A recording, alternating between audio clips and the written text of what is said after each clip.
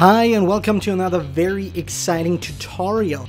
Today we're going to have a look at CreateML, the new way to create custom machine learning models that Apple introduced at WWDC 18. And this is extraordinary because it simplifies the way you can create machine learning models based on your own data.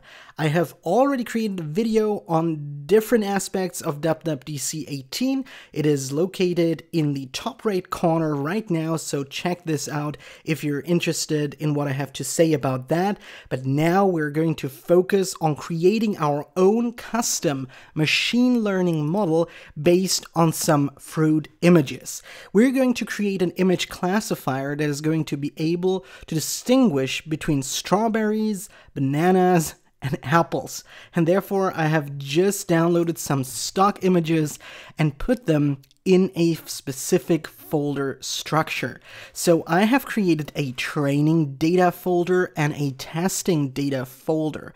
And I have chosen a ratio of 80-20, so 80% training data and about 20% testing data. This is quite common and I've just put all my images for apples into an apple folder, all my images for bananas into a banana folder, and the same thing for strawberries, both in training data and in testing data. And these are actually the labels that we're going to use for our image classifier and what previously needed really real expertise from someone with a background in data science now can be done in just seconds in a playground. So let's see how this works. So once you have opened up your beta version at the moment, the beta version of Xcode 10, you can just click File, New, Playground, and then we're going to choose a Mac OS playground and we can start with a blank playground, just calling this maybe um, image classifier creator and hit create.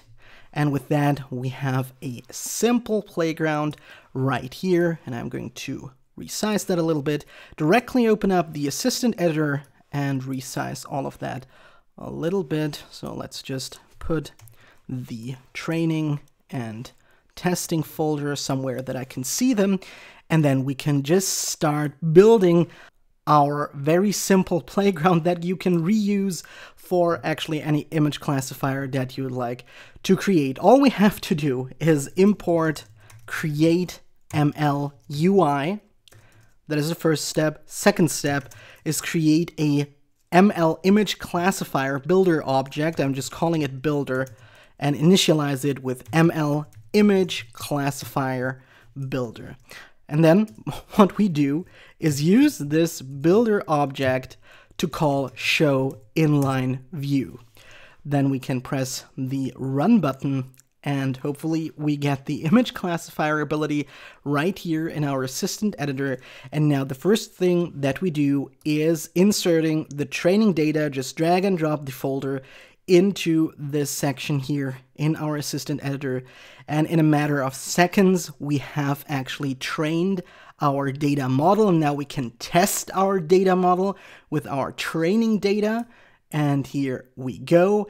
And we have, in this case, an evaluation of 100% accuracy in our model. So as you can see, this was predicted as a banana, this was predicted as a banana, and it was a banana. And it truly worked for our image classifier.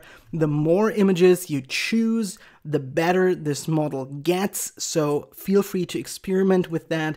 The evaluation could be different depending on your images and the amount of the images, but if you're satisfied with the evaluation result, then you can go ahead, click on this little down arrow next to your image classifier, choose a location where you'd like to save your image classifier. So I'm going to just choose my desktop. I could give it a author, description, license, version, and so on.